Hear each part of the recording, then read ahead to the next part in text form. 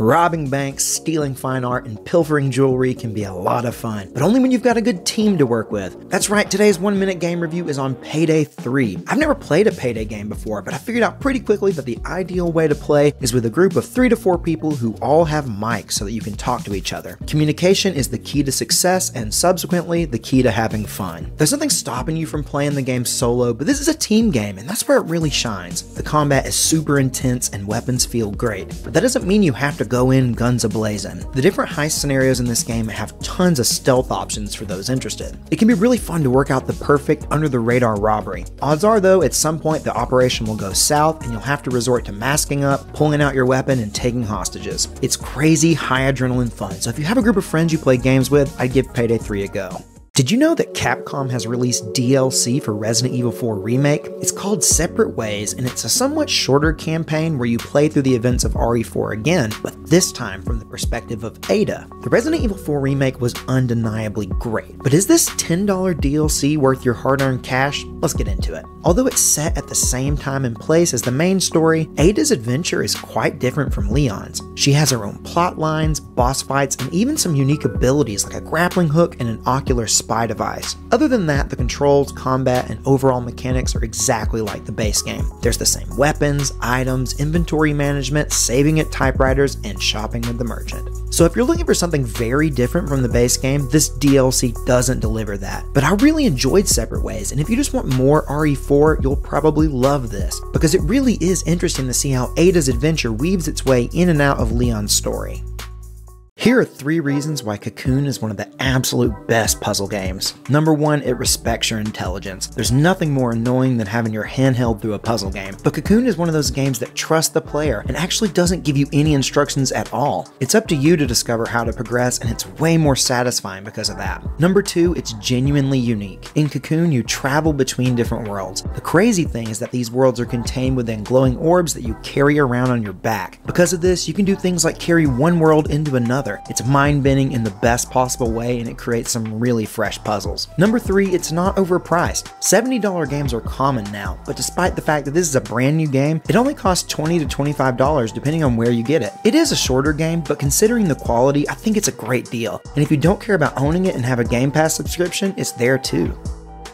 Let's just rip the band-aid off. The Crew Motorfest is almost indistinguishable from Forza Horizon 5. Both are beautifully vibrant, open-world racers with incredibly similar visuals and gameplay. Now I loved Forza Horizon 5, but does that mean I automatically feel the same about the Crew Motorfest? Well, it does have some differences worth noting. Like Motorfest is a bit more arcadey. Although the overall handling is similar, you're constantly doing nitro boost, and there's a larger emphasis on things like drifting and jumps. There's also different types of vehicles available to race, like boats, bikes, and planes, something absolutely not found in Forza. So Motorfest definitely does feel unique in some ways, but overall it's still super similar to Horizon 5. But I actually don't think that's a bad thing, because Forza games aren't available on PlayStation. So if you're a Sony gamer looking for something like Forza Horizon, the Crew Motorfest is a great substitute. But it is a substitute that I don't think quite measures up to the game it clearly draws inspiration from. Still, I had quite a bit of fun playing through this one and can absolutely recommend it.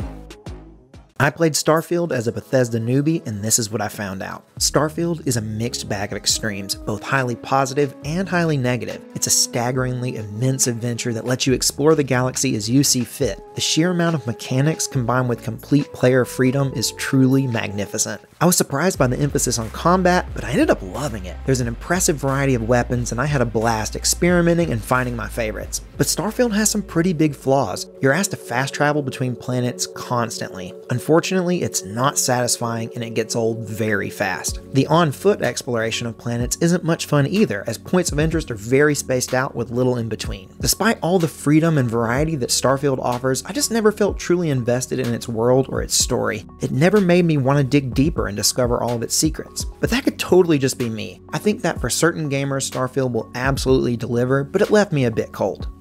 If you're a PSVR 2 owner like me, you know the struggle is real. The headset is awesome, but there just aren't that many exciting games to play on it. I didn't want it to become a $550 paperweight, so I tried out Resident Evil Village, a game that I've played before and knew I loved, but now I'd be experiencing the thrills in super immersive VR. I don't know if you've tried anything horror related in VR, but my god, the scares are definitely amplified this way. I didn't expect the game to feel so fresh, but actually being inside the game world almost made it feel like I had never played the game before. Every environmental detail, from the dilapidated rundown village to the oppressive grandeur of the castle, just feels so much more impressive and novel when it's totally surrounding you. Also, because the headset tracks where your eyes are looking, shooting and aiming is satisfyingly accurate and precise. It's super fun. I know this game wasn't originally developed as a VR experience, but that doesn't stop it from being one of the best games that you can play right now on PSVR 2. I feel like by saying this, I risk being labeled as a Disney adult, but I can't lie to you. The new Switch game Disney Illusion Island is actually really good. You can play it solo, but it has the option for up to four people to all play together, and my wife and I played it as a duo. So, what's it like? Well, it's a straight up pure platformer. There's actually no combat. It's all about clearing obstacles and avoiding enemies by using various abilities that you unlock throughout the game. As you gain new moves, more and more of the map becomes accessible and new challenges arise. I love games that cater to a wide range of gaming abilities and this is the perfect example because you choose how many hits you can take before dying. I decided to be a sweaty tryhard and only gave myself a couple hearts, but if you're a more casual gamer like my wife, you can give yourself more or even unlimited hearts. You'll have fun no matter what though. Movement is fluid and responsive, the level design is super clever, and the quality of the animation and voice acting is just amazing.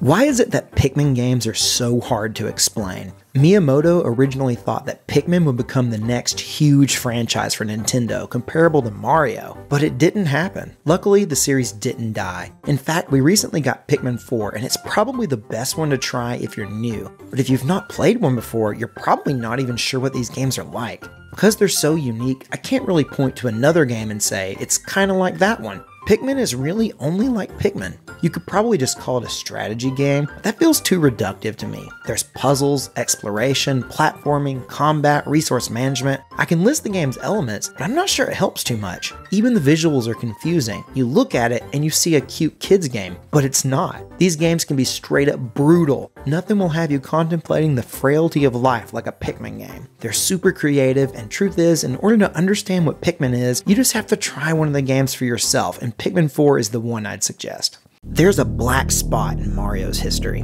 Okay, actually, when New Super Mario Bros. first released, people really liked it. What they didn't like is that Nintendo then said, good enough, and basically released the exact same game three more times. The consensus is that the new Super Mario Bros. games are all too similar and too safe. But I've actually never played the first three games in the series, so it's time to see for myself if they deserve all the apathy they get. Today, we're looking at the game that started it all New Super Mario Bros. for the DS. What sets this game apart? Well, there's the Mega Mushroom.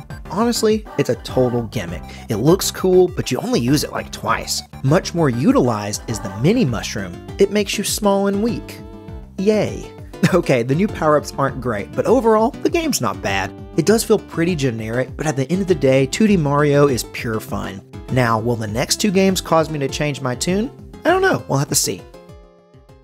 You know how people say that gaming hasn't gotten that much better since the Xbox 360 and PS3? I've never thought that was true, but recently my wife and I played a game that made me think that maybe those people have a point. I swear, if I didn't know better and you told me that this game was released this year, I'd have no problem believing you. But get ready to feel old because Little Big Planet came out in 2008. That was 15 years ago. Yet to me, the graphics and art style are still impressive. Maybe my brain has been warped by playing too many games on Switch, but I just don't see anything in this game that screams 2008. Literally, the only thing that feels dated about this game is that it's stuck on PS3, which means you have to use a 6 axis or DualShock 3 controller, and they have not aged well.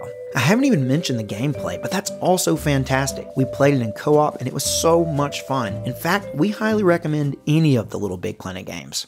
Final Fantasy XVI contains a lot of cutscenes. How many exactly? It's a little hard to calculate. One YouTube channel, Gamer's Little Playground, edited all the cutscenes into a movie that tips the scales at a whopping 20 hours. This runtime is inflated though because they also included a good amount of plot related gameplay. A different channel, GamersPrey, created an edit that only lasts around 17 hours. This one is almost entirely cutscenes and dialogue, but it still has some important gameplay moments. I would estimate that Final Fantasy XVI has around 15 hours of hands-off time where the player just sits back and watches the story unfold. Now, admittedly, it's a pretty epic story, so it may not bother you at all, but if you're more interested in gameplay, the amount of downtime will likely become a sore spot. The combat is genuinely fun and engaging, and I think this game is quite good, but just know that you'll spend almost half of your time in Final Fantasy XVI with your controller sitting idle in your hands.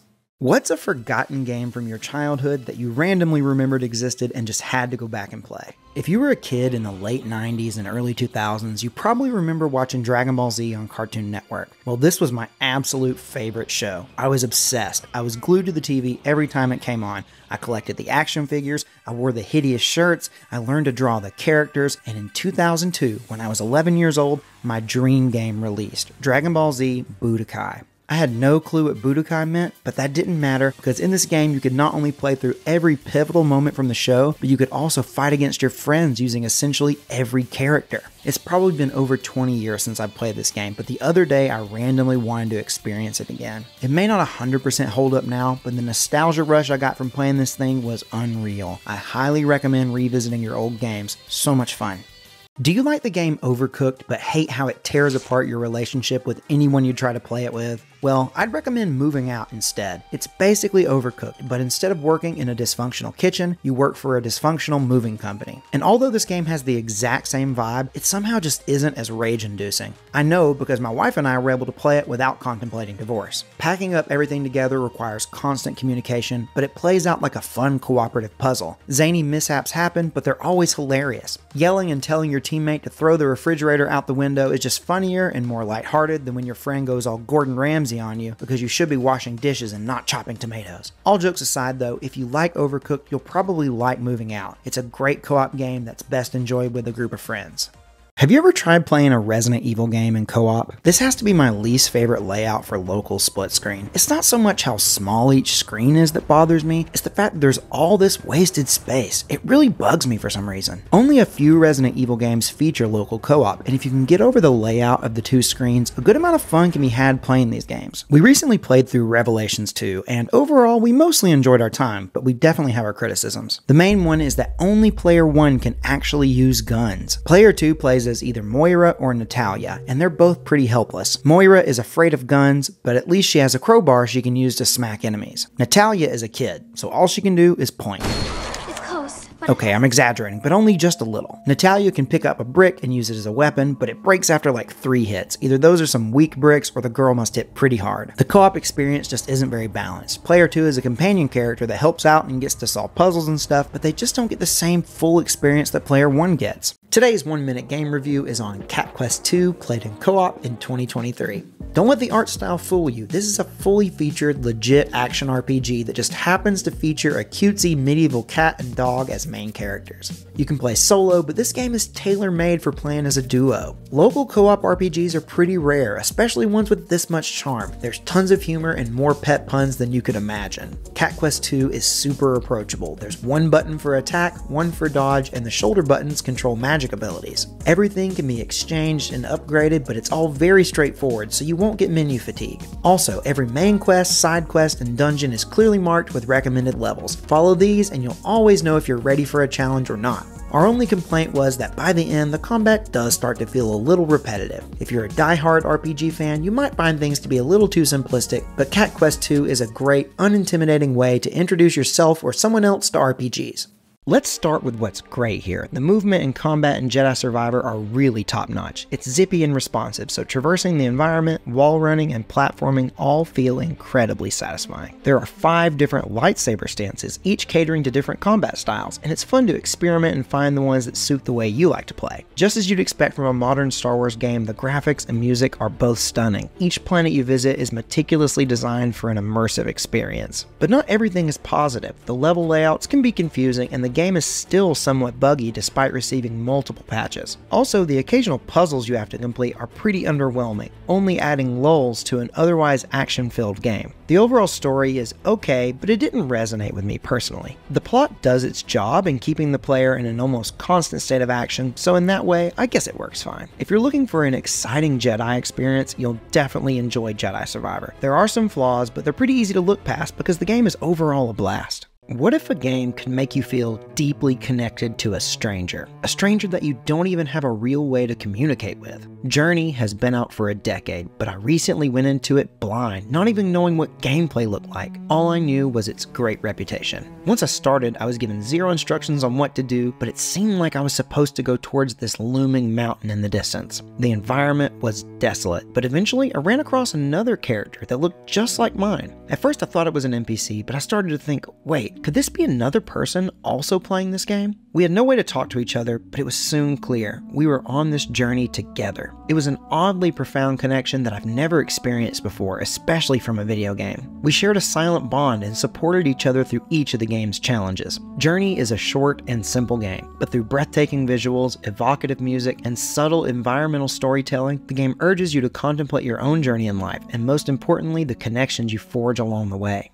In the world of gaming, few titles have captivated audiences quite like Dead Island. Released in 2011, it took players on an intense journey through a zombie infested paradise. But the game's sequel, Dead Island 2, has become a symbol of the challenges faced by game developers. Originally slated for release in 2015, its development was riddled with setbacks, studio changes, and uncertainty. Development hell is not uncommon in the gaming industry, but Dead Island 2 seemed to be stuck in a perpetual loop. It changed hands multiple times, with each studio trying to salvage the project project in their own way. They faced immense pressure from fans, critics, and the weight of the Dead Island name. But now, almost a decade behind schedule, Dead Island 2 is finally here. Truthfully, it may not be the masterpiece some fans were hoping for, but it carries with it a certain charm and self-awareness. Plus, you just have to appreciate the journey it went through. For better or worse, Dead Island 2 captures the essence of a bygone era in gaming. Some of its mechanics may feel dated by today's standards, but its sheer entertainment value shines through. It's a reminder that sometimes just being fun is the ultimate goal. Today we're reviewing the mind-bending cooperative game Ibb and Obb. In this game, crossing through a portal brings you to an alternate plane where gravity is flipped. You'll need to work together and utilize the opposing gravities in order to succeed. Ibb and Obb is a two-player only game that twists your brain in the best possible way.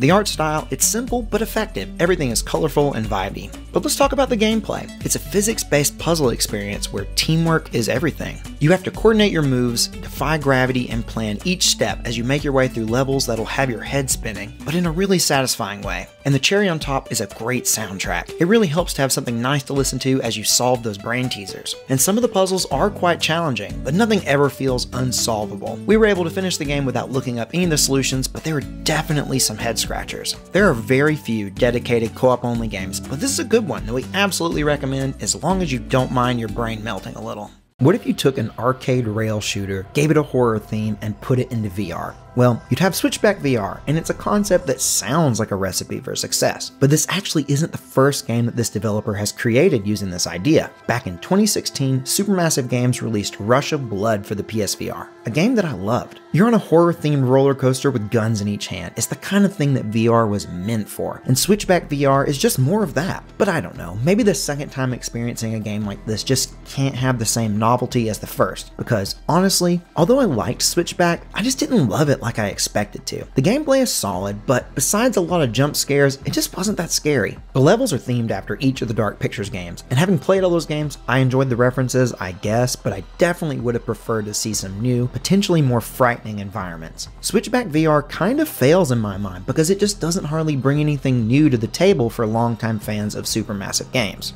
Do you think this is a true Bayonetta game? It's a complete departure from the original trilogy of games, which are known for having over-the-top action, intense combat, and a scantily clad protagonist. This new prequel, Cereza and the Lost Demon, takes a completely different approach, with gameplay that focuses more on exploration, puzzles, and platforming. It does have a fair bit of combat, but it's almost nothing like what you'd expect from a traditional Bayonetta game. Cereza, who's controlled with the left Joy-Con, is more or less a defensive character, while Cheshire, the demon, does most of the attacking and is controlled with the right Joy-Con. The game's visuals are rendered in a beautiful, soft watercolor art style. It's a departure for the series, but it's also a perfect fit for the magical forest in which this game is set. So is Cereza and the Lost Demon a true Bayonetta game? Not really, but that doesn't mean it's not a good game. In fact, I quite enjoyed it. It's charming, the story is engaging, and the gameplay is entertaining. And thanks to the unique controls, my wife and I were able to each take a Joy-Con and play the game together, which was a lot of fun. PS4 gamers have been left behind, because although Horizon Forbidden West launched on both current and last-gen consoles, the new Burning Shores DLC is exclusive to PS5. It's $20 and some gamers are saying that it's too short to be worth it, but is it true? Burning Shores dives deeper into Aloy's character, showing a less stoic and more vulnerable side to her personality through her relationship with Seyka, a new companion character. Everything takes place in a huge new area, the ruined remains of Los Angeles. A benefit of being a PS5 exclusive is that the environments look straight up incredible. The gameplay is mostly just more of the same from the main game, but there are some new weapons, outfits, and a new enemy type or two. Keep in mind, if it's been a while, it may take you a little while to get back into the swing of things. The combat is pretty complex, and the DLC just assumes that you remember how everything works. The main story will feel disappointingly short for some, but it has some pretty epic moments, especially towards the end. Now, if you're the type of gamer who likes to explore and collect everything, you could sink plenty of hours into this,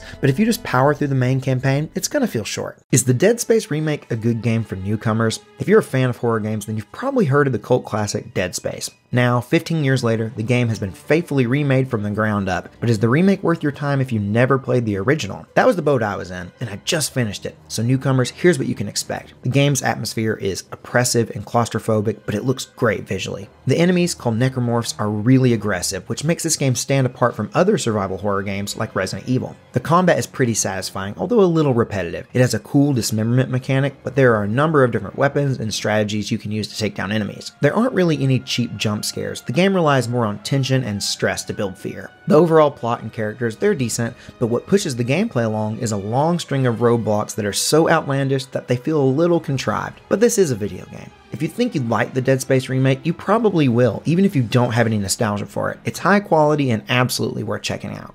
Is the Resident Evil 4 remake as good as the original? RE4 is considered one of the greatest games of all time. Remaking it was risky because if there's one thing gamers hate, it's when companies mess with their favorite game in an attempt to milk it for money. On the bright side, Capcom's track record with remakes has been great. This new take on Resident Evil 4 is definitely darker in atmosphere and less zany than the original. They've gone for a more grounded and realistic approach, but they've kept just enough over the top action and one liners to make it feel authentic and not too much of a departure. The environments are incredible. They've maintained the general feel of a lot of the iconic set pieces, but dialed the details up to 11. The new combat feels super modern and fluid, and there's still a good bit of challenge. Also added are new puzzles and encounters which help to freshen up the experience for RE4 veterans. It's a perfect blend of old and new, faithful to the original while also bringing in fresh elements. It's definitely worth checking out whether you're a fan of the original or not. Have you ever heard people rave about a game that you know you'd probably love, but you just haven't gotten around to playing it yet? That was the case for me with Metroid Prime, and for the past few years I really put off playing it because I heard rumors that a remaster was in development for Switch. And as you know, those rumors ended up being true, so I was excited to finally see what all the hype was about. Surprisingly, it's way more similar to the 2D Metroid games than I expected. Obviously, the perspective is different, but the gameplay loop is still centered around fighting off enemies while exploring until you find and unlock new abilities. Then you use those new abilities to access previously unreachable areas. Yeah, you might find yourself lost at times, but Metroid games are the absolute best at delivering an overwhelming sense of mystery and intrigue that makes you want to keep playing. In my opinion, the combination of combat, puzzles, and exploration all work together in perfect harmony. Sometimes I just don't understand Nintendo. When Super Mario 3D World was re released on Switch, they made a big deal about how they had bundled in what was essentially an entire new game, Bowser's Fury. This encouraged gamers who had played 3D World to purchase the game again because Bowser's Fury wasn't sold separately. Well, Nintendo has utilized this tactic again.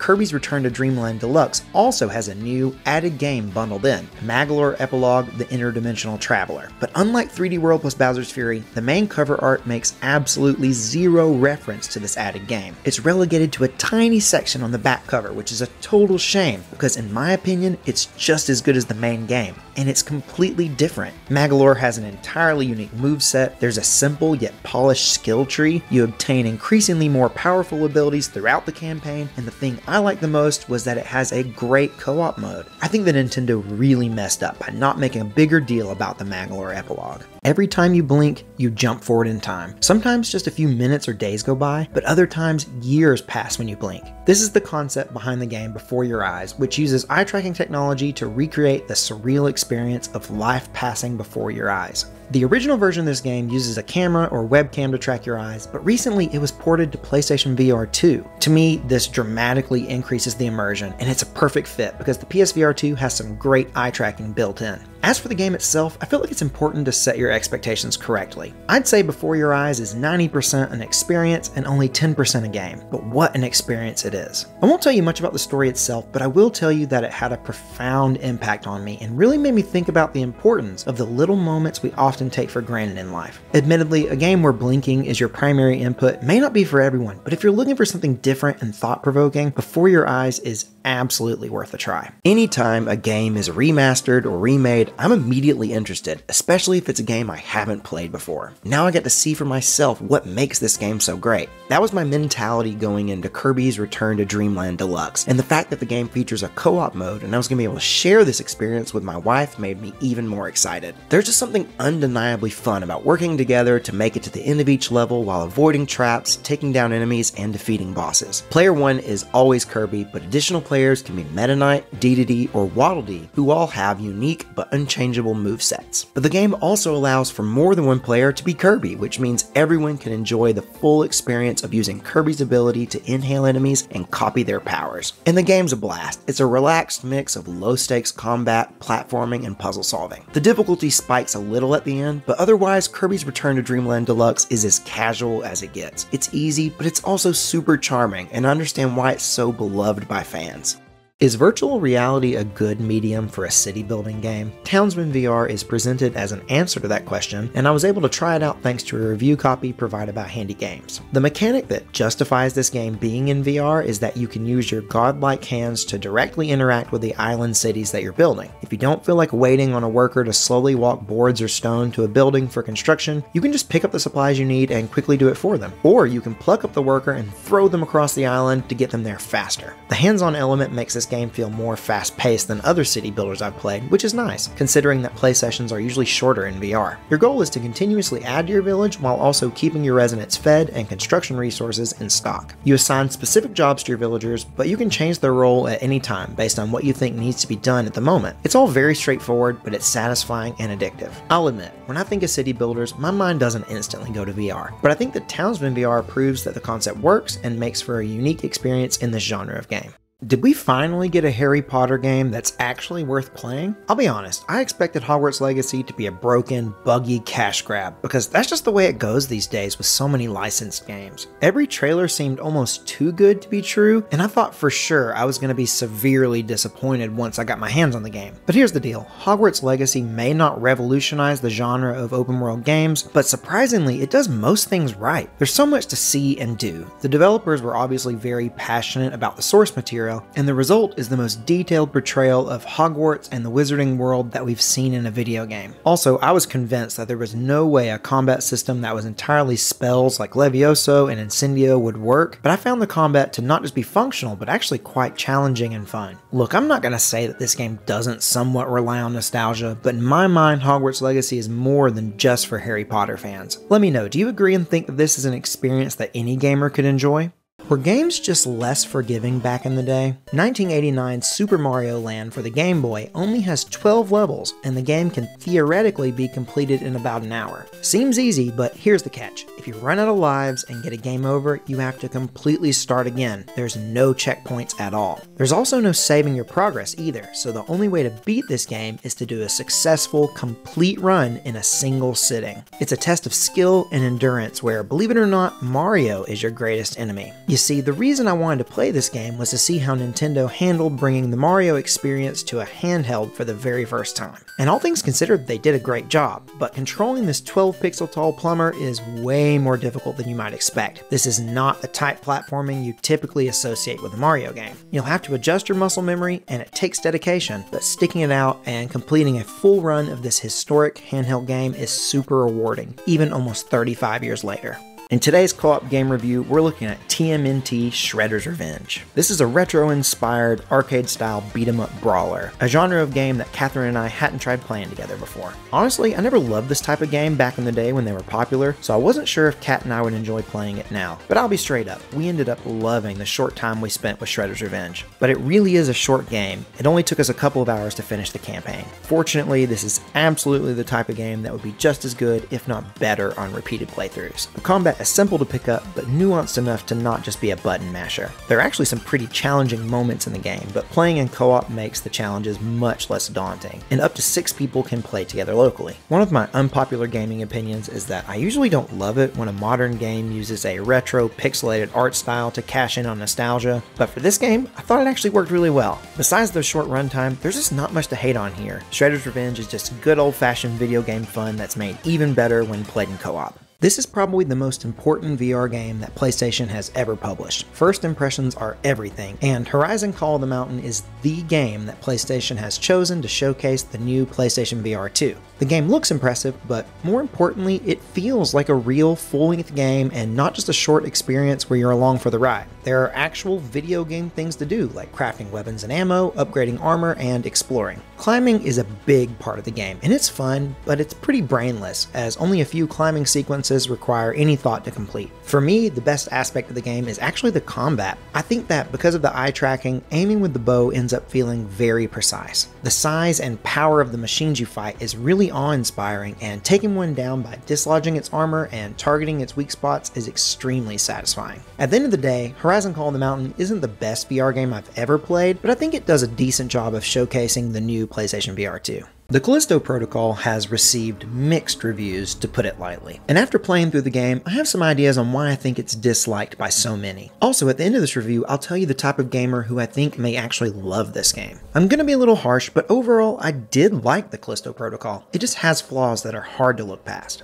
I think the biggest problem is that what you see doesn't coincide with what you get. The visuals are truly amazing, but the gameplay just doesn't match the standard of quality set by the graphics. The gameplay isn't bad, but it's simple, somewhat repetitive, and stands in stark contrast with the detailed and elaborate environments. Gamers just don't like it when a game tries to present itself as something greater than what it actually is. They see straight through it. But if you're a fan of linear, straightforward, old school survival horror games, I don't think you'll regret playing the Callisto Protocol. If you know what you're getting into and your expectations are lined up, you might end up really enjoying it. That way, the overly polished graphics feel more like an added bonus and less like the developers were overcompensating. If you're looking for a game to play with your partner or friend, you may want to check out Untitled Goose Game. It can be single player or co op, and Catherine and I recently played through this one together. You play as geese who have made it their mission for some reason to just be total menaces. You're given a checklist, and you need to do whatever you can to complete the tasks. Some are easy to figure out, but many others require a good deal of creativity and out of the box thinking to pull off. No matter what, though, you'll completely annoy and terrorize the citizens of this quaint town. The controls and gameplay are simple enough to be suitable for the less experienced players out there, but the puzzles are complex enough to intrigue even the most seasoned gamer. The piano soundtrack changes and adapts to the events on screen, which really adds to the vibe of this already charming game. Untitled Goose Game is an entertaining mix of puzzles and stealth that's perfect for playing with a partner or friend. So if you're looking for a fun and mischievous adventure, give this one a try.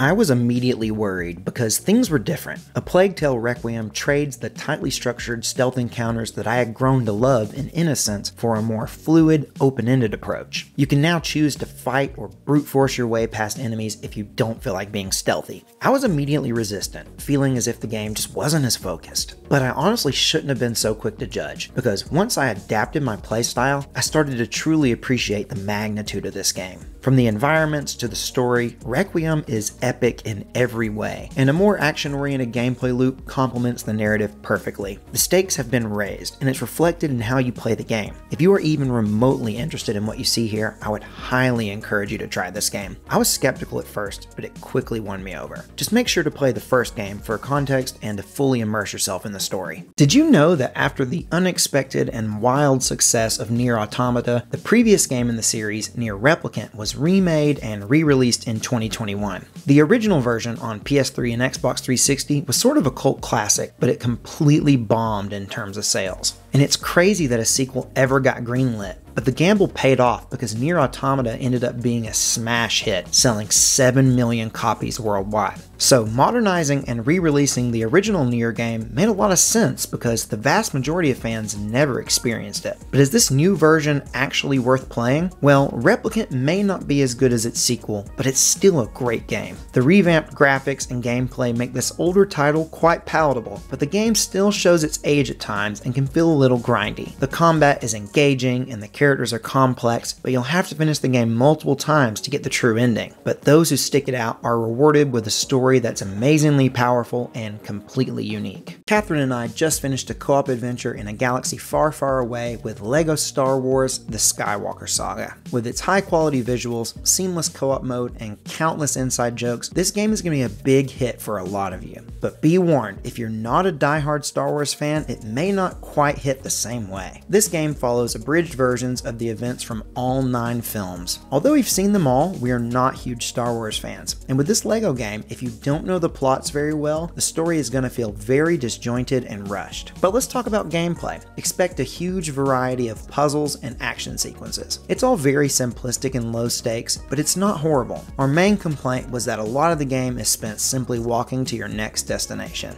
Overall, the game does have a very premium feel, and the co-op mode is well implemented, making it worth considering even if you're not a Star Wars fan. Catherine and I thought it was just okay though. But let us know in the comments, what do you think about LEGO Star Wars The Skywalker Saga? I'm surprised because I was skeptical about stealth games, but A Plague Tale Innocence has completely changed my tune. It's a few years old now, so a lot of you may have already played it, but if you're on the fence or if you've never heard of it, you're in for a real treat. I'm a sucker for a good looking game, and the stunning graphics and environments are what ultimately drew me in, but the gameplay exceeded all my expectations. It's a tightly crafted stealth adventure with no pointless filler and way more variety than you'd imagine. The characters, story, and pacing are also top notch, making A Plague Tale Innocence an all around great gaming experience. So, for those who love story driven single player games, this is one adventure you won't want to miss. Comment below and let me know if you agree or if you've played this game before. I can't wait to see what you think.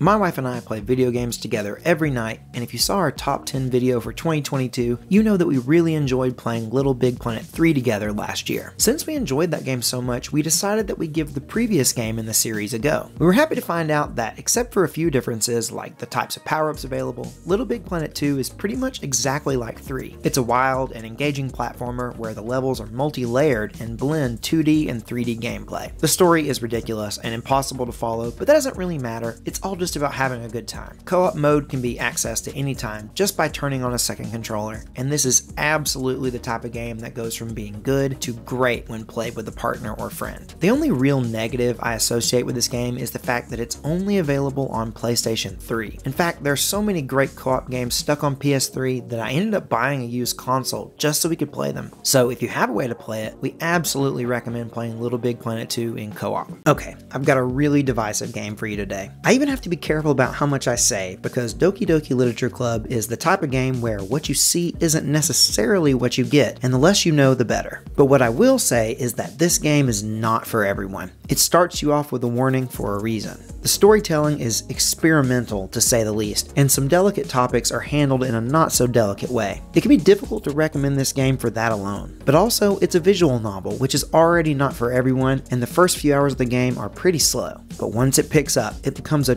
truly mind bending psychological experience unlike any game I've played. For me, Doki Doki Literature Club really hit. It was super refreshing to play something that was actually different for once. But that was my personal experience. You'll have to decide for yourself if you think this game may be for you. Is it dumb to review a 3DS game 10 years after it launched? Maybe, but everyone has a backlog, and I enjoy reviewing the games I play no matter how old they are. And recently, a game I played from my backlog was Luigi's Mansion Dark Moon. This entry in the series is mission based, which makes it more handheld friendly. Still, it took me around 15 hours to finish, but I enjoyed my time. My only real problem with the game is that if you fail a mission, you have to completely start it over. Some missions are pretty long, and it can be frustrating to have to do everything again. But would I recommend playing this game in 2023? For most people, I'd say no, but only because Luigi's Mansion 3 exists on the Switch. It's newer, more polished, and overall just a better experience. But that doesn't mean that Dark Moon is bad. I wanted to play it because I like Nintendo games, and I'm interested in experiencing as many as I can. So if you're thinking about playing Luigi's Mansion Dark Moon, I'd say go for it. It's not bad. We're going all the way back to 2004 for today's game review and playing Katamari Damacy. Originally, this was only on PlayStation 2, but a few years back, the game was updated and re-released on all the major consoles as Katamari Damacy Reroll. I rented the Switch version and it was my first time playing one of these games. Rolling up objects and growing your Katamari is super relaxing and oddly satisfying, but the controls are clunky and take some getting used to. Levels have different objectives. It's not always just about collecting as many objects as possible within a certain time limit, but for me, the moment to moment gameplay didn't have much variety, and by the end felt monotonous. But keep in mind that your mileage may vary. You might never get bored with this. Depending on what you like out of a game, I could see this being an 8 or 9 out of 10 for some people. Katamari Damacy Reroll is a weird and quirky game that I did somewhat enjoy, but just didn't love. I'm not going to sugarcoat it, Pokemon Scarlet and Violet are not good looking games. When I first started playing Violet, I was immediately struck by the janky presentation and rough graphics. But as I delved deeper, I found that the game was a lot better than it looked. The new open world format allowed me to choose my own path, which made the game feel more strategic and challenging. And the new mechanics like auto battling add a level of variety to the core gameplay loop that I really appreciated. I've skipped a lot of the past Pokemon titles because they all felt more or less the same, but this was hands down the most fun I've had playing a mainline Pokemon game in a long time. Don't get me wrong, it's extremely disappointing that the performance and graphics of Pokemon Scarlet and Violet don't match the quality of the gameplay, but fortunately, the majority of the problems are only skin deep.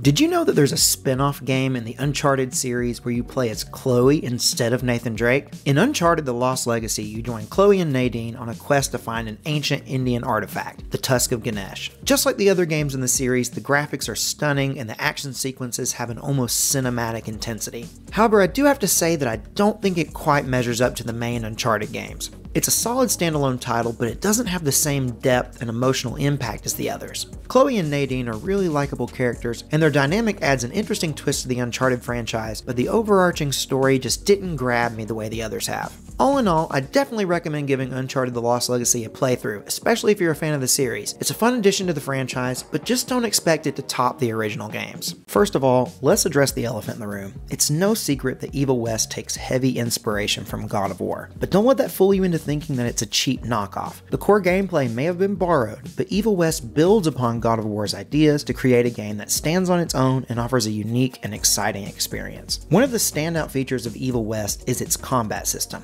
Nearly every button on the controller commands a different weapon or ability, all with separate cooldown timers. You would think that this would be overwhelming, but the game teaches you how to manage the chaos by gradually introducing weapons throughout the course of the game. You start off with just one or two actions, but by the last chapter, you're an unstoppable force with seemingly infinite combat options at your fingertips, including ranged and melee weapons, special abilities, and powerful finishers. Evil West goes all in on one concept extreme over the top action, and man does it succeed. It's a thrilling and immersive game that's definitely worth checking out for fans of action adventure games like God of War. It was an unexpected pairing of franchises, but to most people's amazement, 2017's Mario plus Rabbids Kingdom Battle ended up being a surprisingly good turn based strategy game. Five years later, Ubisoft has now released a sequel, Sparks of Hope, but is this one as good as the original? Now that the novelty of the Mushroom Kingdom and Rabbids mashup has lost some of its potency, Sparks of Hope doesn't have to employ any plot gymnastics to convince the player that what they're seeing makes sense. In fact, making more sense is really where Sparks of Hope shows the most improvement from its predecessor. The skill tree and upgrading system is simplified and less confusing, the overworld is easier to navigate and no longer feels like a labyrinth, and each character has a more defined and purposeful role. And the new Sparks mechanic is an appreciated addition that adds an extra level of strategy to each battle. When Sparks of Hope was announced, I wasn't entirely convinced that we needed this sequel, but because of all the refinements and additions, I ended up really enjoying my time with this game. Let me know what game you'd like me to play and review next. Okay, I know they're not the most amazing games in the world, but I'm one of the people who actually enjoy the Dark Pictures games. I think that for what they are, they're pretty good. But the most recent game, The Devil in Me, just does so many things wrong. There are new traversal mechanics, and they work well enough, but the game acts like it's something seriously new and revolutionary. I hope that you think climbing is scary, because the majority of the first hour of this horror game is just spent scurrying up ledges in full daylight. Also added is a simple inventory system. The coolest thing about it is that each of the five characters holds a unique item related to their job that can help them solve puzzles or survive in some way. One problem the game almost never asks you to actually use these tools. It's like the mechanic never really progressed past the idea stage during development, but they shoehorned it in anyhow. As concepts, I honestly don't have a problem with any of the new features. I just wish they were implemented in a way that didn't come across as shallow and meaningless. Ultimately, they end up severely scarring what could have been at least an okay game in the series.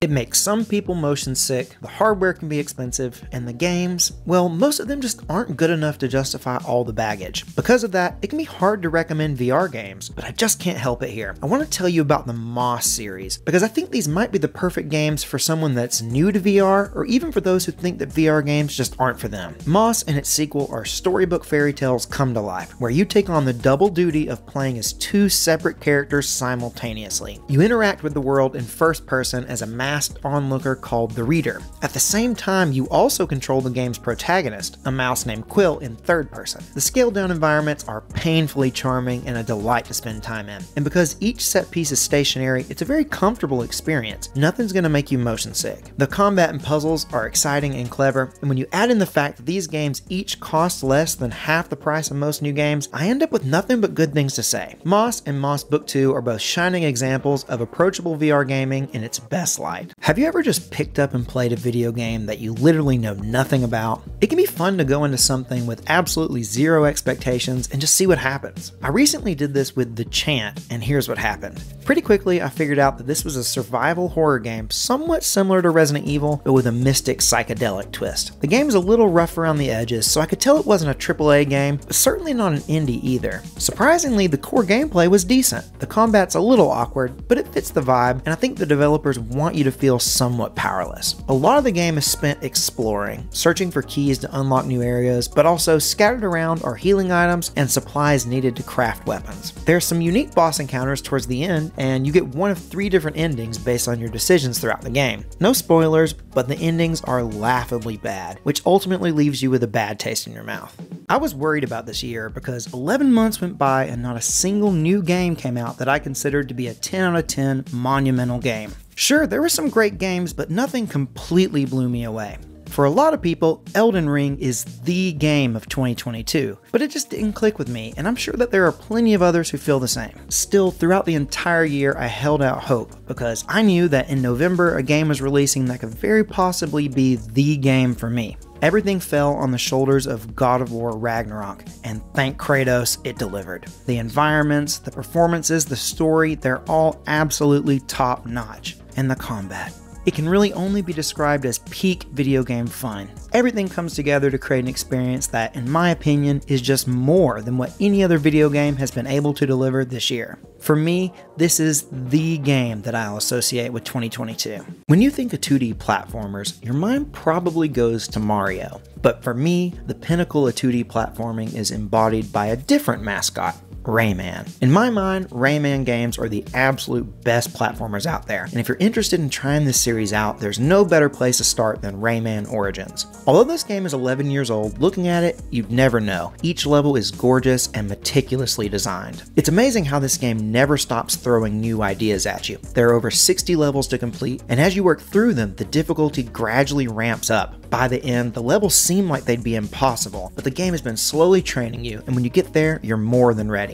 Finishing the last few levels of Origins is one of the most fun and rewarding challenges in any video game. And if you can believe it, things are even better when playing with a friend. Luckily, this game supports up to four player couch co op. Rayman Origins is hands down one of the best platformers out there, and it's very close to perfect. For that, you need to look at this game's successor, but that's a review for another video. Brutal is the best way to describe The Walking Dead Saints and Sinners. This is a virtual reality survival RPG that's surprisingly fleshed out, especially when compared to other VR games. Set in New Orleans, you're on a mission that requires you to not only handle hordes of walkers, but also navigate the dangerous politics of two rival factions of survivors. Adrenaline pumping combat with both walkers and faction members is essential to your survival. The weapons are scarce and they break easily, so you have to scavenge and salvage items in order to craft new weapons and healing items. The gameplay loop is perfect for those who are willing to embrace the role playing aspect of the game, but if you're primarily looking for combat, you may be disappointed with how much of the game's 11 hour campaign is spent looting and crafting. On the bright side, the voice acting and environments are both great. Combat with knives, pistols, and bows is brutal and satisfying. Unfortunately, most two handed weapons, such as bats and shotguns, feel clunky and difficult to use. Overall, The Walking Dead Saints and Sinners is a high quality VR title that'll really resonate with some, but will likely fall short for others. Do you remember The Crimson Room? In the mid 2000s, this hugely popular internet game was many people's first experience with the idea of an escape room. Eventually, the concept left the virtual realm and became real life attractions where you discover clues and solve puzzles in order to try and escape.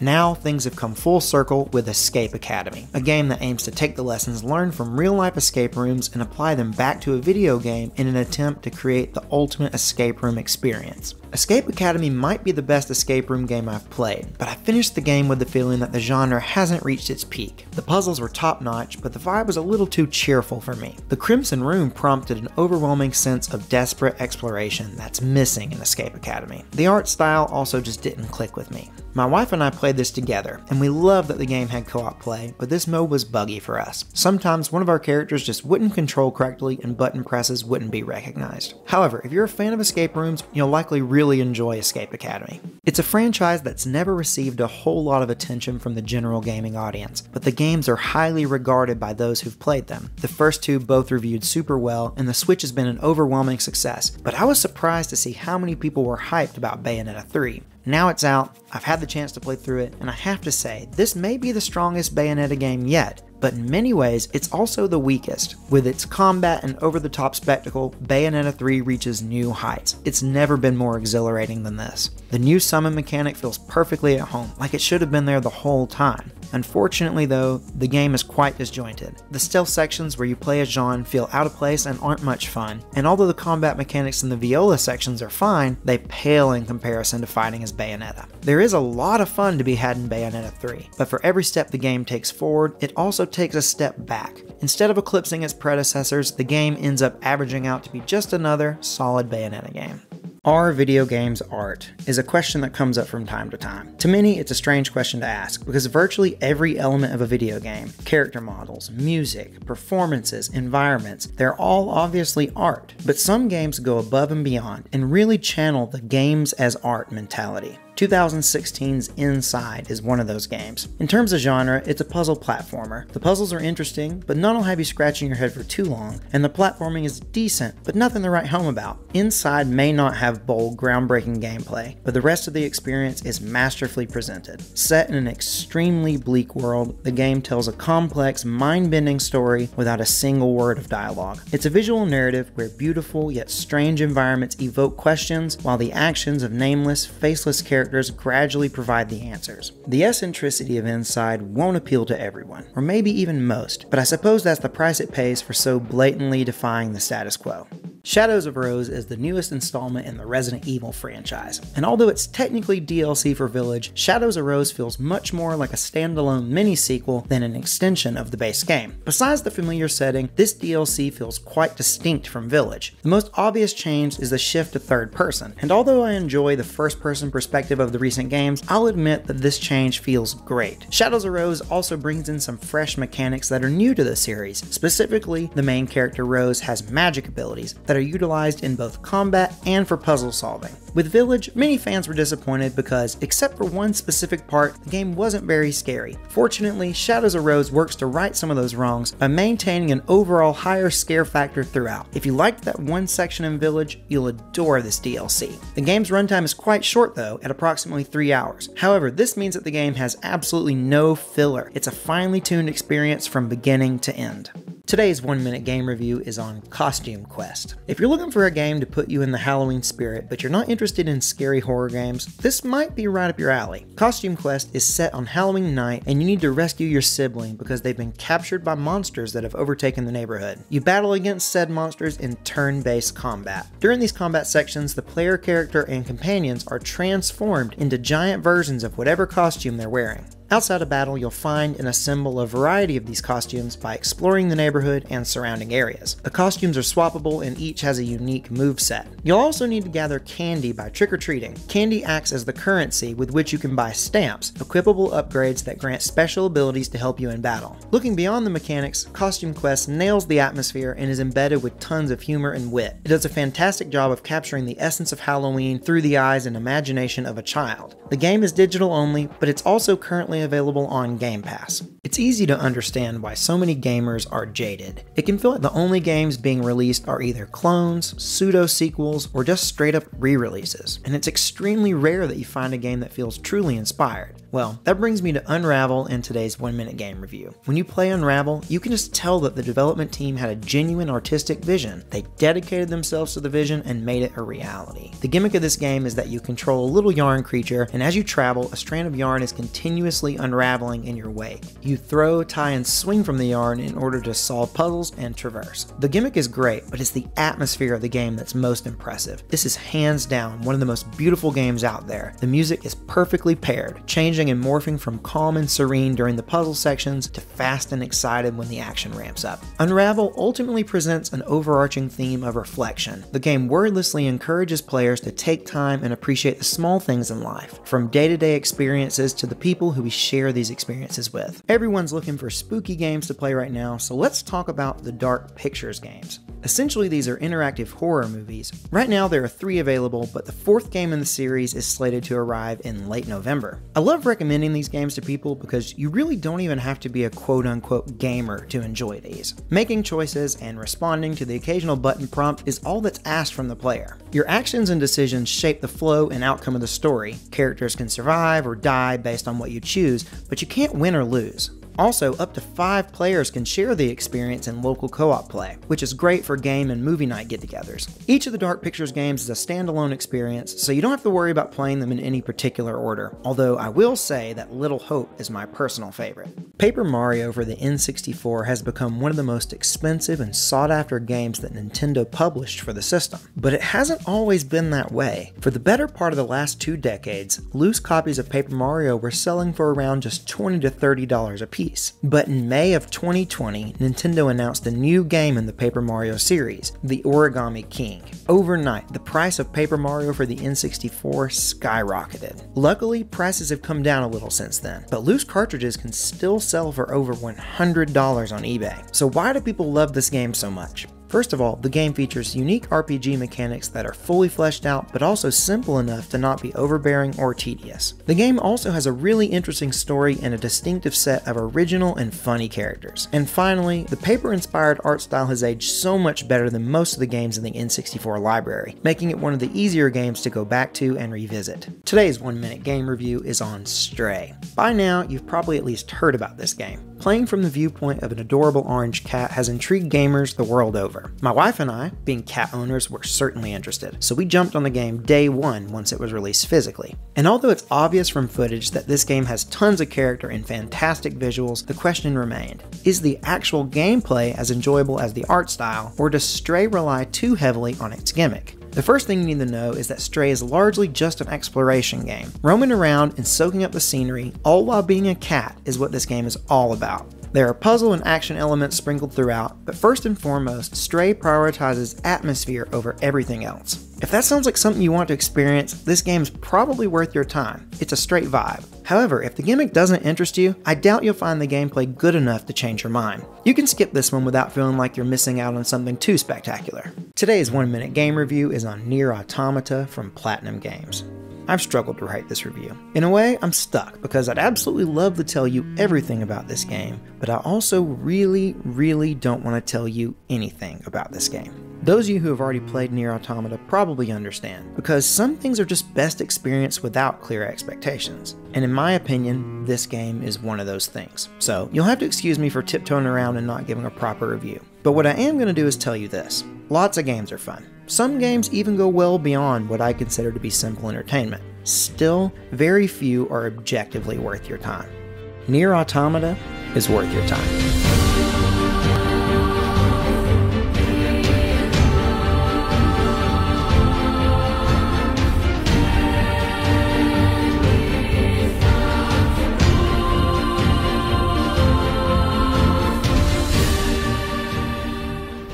Today's one minute game review is on Splatoon 3's single player story mode.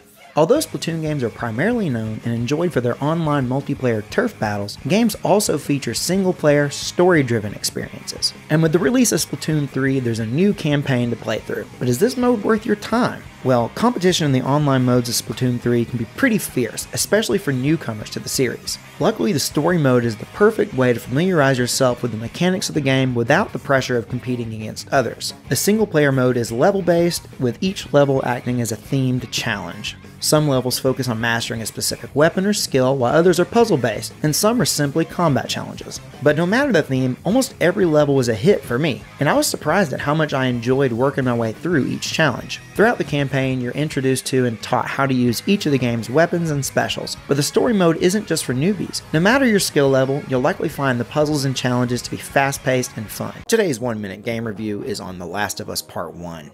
There's been a lot of controversy over The Last of Us Part 1 being priced at a whopping $70. Some folks are okay with the price, but many others disagree and think that the game is nothing more than a thinly veiled cash grab. Understandably, the debate around pricing is always at the forefront of any conversation around this game, but that's really muddied the waters for newcomers who are trying to decide if Part 1 is a worthy way to experience The Last of Us for the first time. If you check the Metacritic scores, it might lead you to believe that this remake is an undeniable downgrade from the original. However, when you start reading reviews, you find that virtually every negative review is centered exclusively around the price, not the quality of the actual remake. So, if you are a newcomer overwhelmed with all the noise, here's the deal. The overhauled visuals and added features make Part 1 the new, definitive way to experience The Last of Us. The remake is amazing, but The Last of Us is a masterpiece no matter what version you play, and the older versions still provide excellent experiences at a much lower cost. Today's one minute game review is on Brothers A Tale of Two Sons. When you start a co op playthrough of Brothers, you're immediately met with a warning explaining that the game is not intended to be played in co op. And that's because for the first six years of its life, Brothers was a single player game only, where the two brothers are moved individually by the two thumbsticks on the controller. But in 2019, the Nintendo Switch received an exclusive version of the game that contained a co op mode. But why would the developers go through the trouble of adding a co op mode just to discourage players against it? Because if you disregard the warning and play the game in co op, you'll find a game that you would swear was developed as a co op only experience. After all, this was the first game by Josef Fares, who later went on to create the co op masterpieces A Way Out and It Takes Two. The co op mode does remove the challenge of controlling both brothers at once, but I would argue that the true purpose of this game is more about the adventure and experience than the challenge. And what a magical experience it is. I would absolutely recommend Brothers to anyone, whether you intend to play in co op or single player. Nintendo Switch Sports. There's six sports to play. Overall, they're okay and fun ish, but nothing's that special, except one. One sport stands out as being 10 times more fun than the rest soccer. And it's purely because Nintendo just copied Psyonix's homework. Now, one could argue that Rocket League is just soccer with cars, so of course Switch Sports Soccer will feel like Rocket League. But FIFA doesn't feel like Rocket League. Mario Strikers doesn't feel like Rocket League, but besides a few small differences, Soccer in Switch Sports is basically a Rocket League clone with motion controls. But I don't want you to think I'm just hating on Nintendo, because even though it's essentially a clone, I think Switch Sports Soccer is amazingly fun. In fact, it's the only sport in the collection that my wife and I found ourselves playing over and over. The crazy motion controls work surprisingly well, and that's important because the motion controls are the one thing that differentiates this soccer game from Rocket League and makes it something worth experiencing. Now, does one good minigame make Switch Sports worth the $50 price tag? Well, that's for you to decide. Did you know that this game existed? Four years before the big sequel, Double Fine Productions released a VR game set in the Psychonauts universe called Rhombus of Ruin. What's weird is how high quality it is yet it's flown completely under the radar for most people. It's a great example of a game that knows its constraints and doesn't try to go beyond the scope of what works in virtual reality. For example, a 3D platformer probably wouldn't have worked, but a first person point and click adventure is perfect for VR. And it also makes perfect sense as a Psychonauts game because abilities like clairvoyance, telekinesis, and pyrokinesis make for both clever and completely original puzzle solving mechanisms. Now, I'm not saying this is the best game in the entire world. It's only two hours long, and because it's puzzle based, it doesn't have much replay value. But I just finished playing it, and I was surprised because I found Psychonauts and the Rhombus of Ruin to be a really well put together VR experience. And it's just kind of weird that such a solid game has seemingly slipped through the cracks of the gaming consciousness. Hey everyone, it's Randy from Game & Gig. Today's one minute game review is on Ghost of Tsushima from Sucker Punch Productions. When Ghost of Tsushima was first announced, I was amazed by the visuals that were presented in the trailers, but I decided to pass on it because I've been pretty burned out on open world games for quite a while now. But after almost two years of being told how amazing the game is, I finally broke down and decided to give it a go. Yeah, Ghost of Tsushima is an open world action adventure game that takes a lot of inspiration from similar games such as Assassin's Creed. But what sets this game apart is its extreme level of polish and attention to detail. The game's runtime is not artificially bloated with pointless fetch quests. The main storyline is a well paced, tight package that at no point feels unnecessary. The art team created a world that's amazingly stunning, but that also feels realistic and appropriate to the setting. And with a move that I thought was impossible in the gaming industry, they hired voice actors who actually cared about delivering half decent lines in two different languages. Ghost of Tsushima is a phenomenal example of what an open world action adventure game can be. So even if you're burned out on the genre, I'd give this one a try. When Pokemon first released in the 90s, the games unexpectedly took the world by storm. Millions of gamers, including myself, fell in love with the franchise, and Game Freak has successfully capitalized on the success, pumping out one game after another. But gradually, gamers have realized that every mainline Pokemon game is more or less all the same. Although some fans argue that the gameplay loop is perfect and shouldn't be altered, many have been asking for a shakeup of the core series. Enter Pokemon Legends Arceus, Game Freak's first real attempt to try something new with Pokemon. You can roam freely, choosing when you want to catch, battle, or just inspect the Pokemon around you.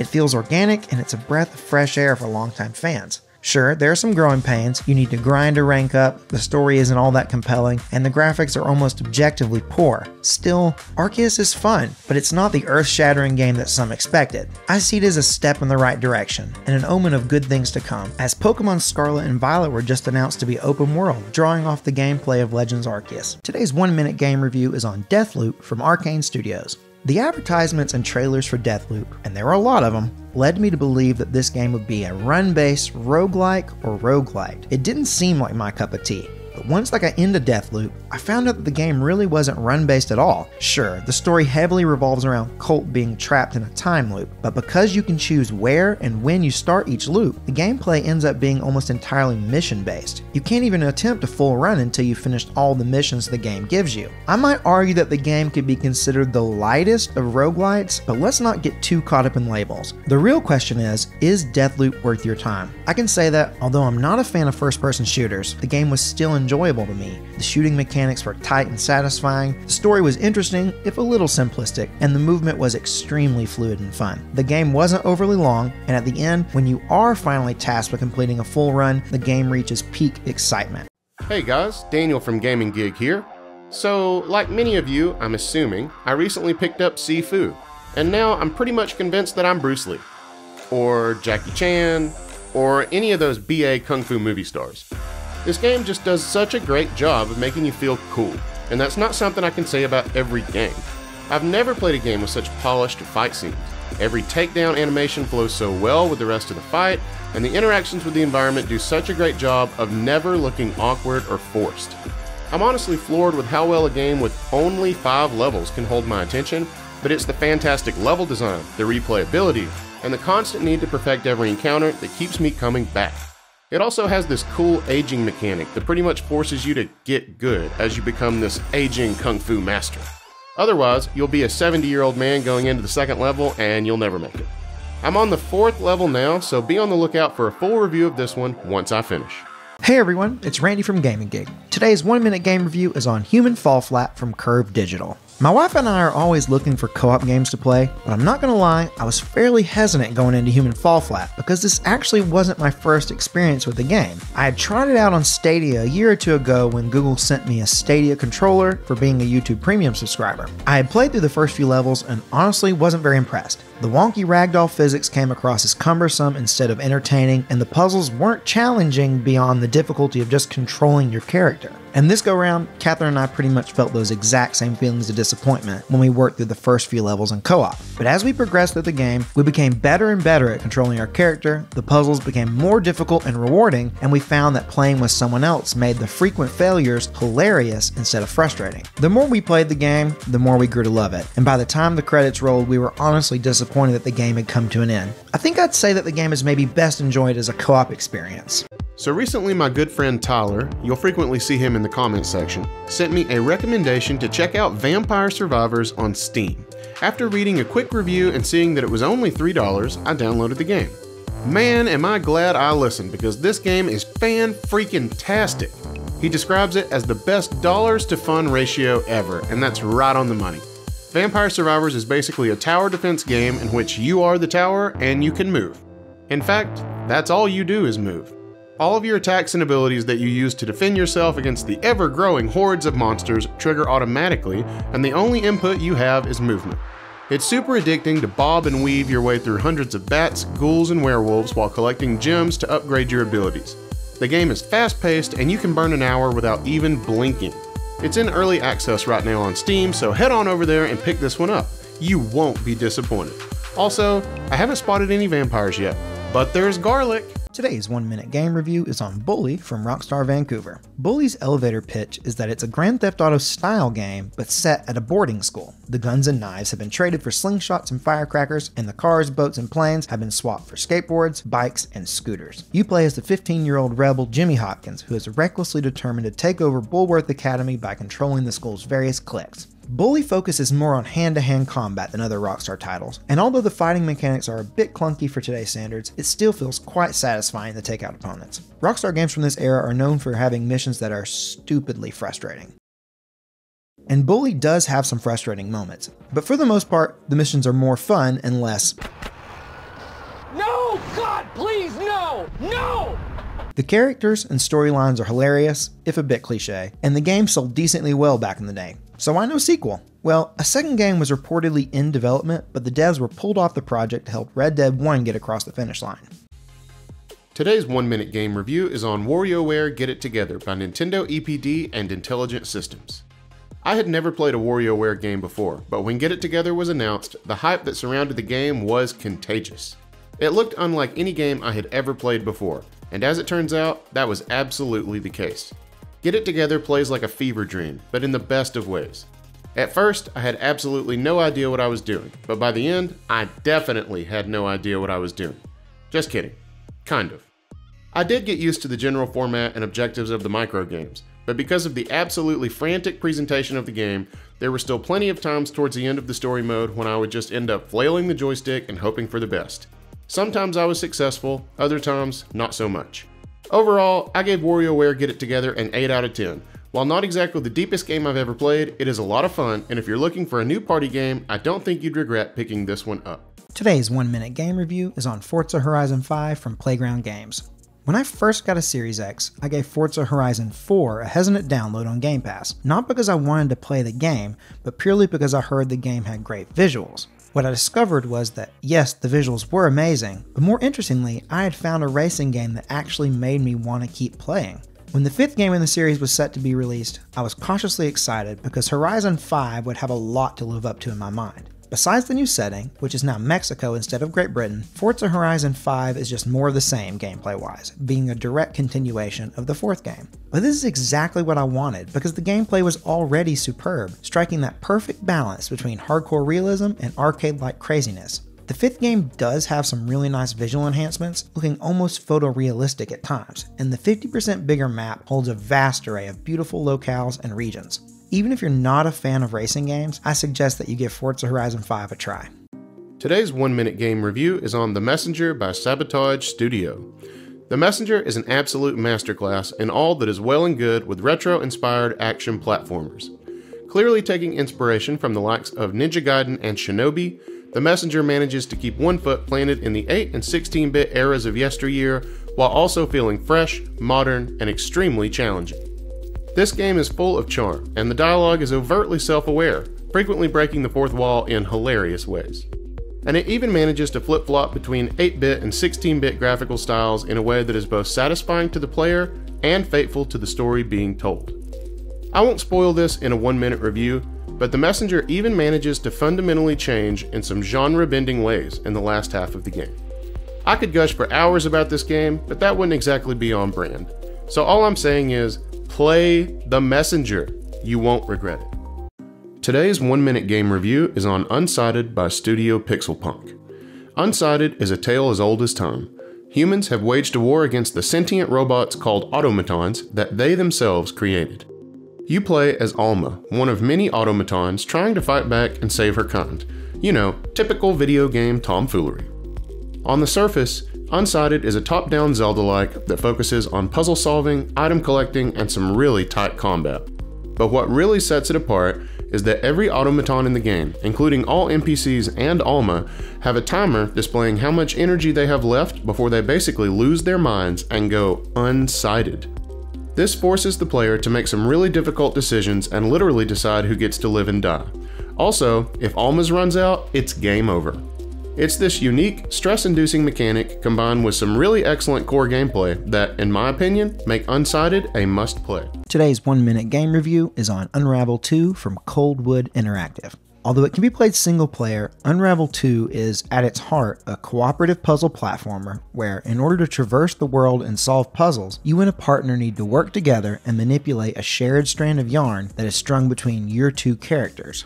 You can also use the yarn to swing from, climb up, and bounce around the terrain. The unique yarn mechanics alone could make for a fun game, but Unravel 2 delivers well beyond simple entertainment. The movement is extremely fluid and satisfying. The puzzles are clever without feeling overly difficult, and my favorite thing is that the understated music combined with the smoky, tilt shifted art style creates an atmosphere that's extremely relaxing. Kat and I have played a lot of games together, especially platformers, and we agree that Unravel 2 sits at the very top of co op games in its genre. We're always looking for new couch co op games, so if you have any recommendations, let us know in the comments, and we might just play and review your game suggestion next. Resident Evil 4 is one of only a very few games that seems to have been given the title of legendary, with many regarding it as one of the greatest games of all time. But for whatever reason, I hadn't played it. But then, the perfect storm happened a VR version of RE4 was released on the Oculus Store. So, a week or so ago, when I was looking for a new VR game to try, it was finally time to see if the game could live up to all the hype almost 20 years later and on a gaming platform it was never initially intended for. I'm almost to the final chapter of the game, and here's my impressions. This game really holds up. Some Resident Evil games especially the early ones, can come across as confusing and convoluted to me, but RE4 has the most polished and refined gameplay I've seen in the series so far. The puzzles, inventory management, and that special brand of horror are all in their purest forms. I know this game wasn't originally intended to be played in VR, but that doesn't stop it from being one of the best VR experiences I've had.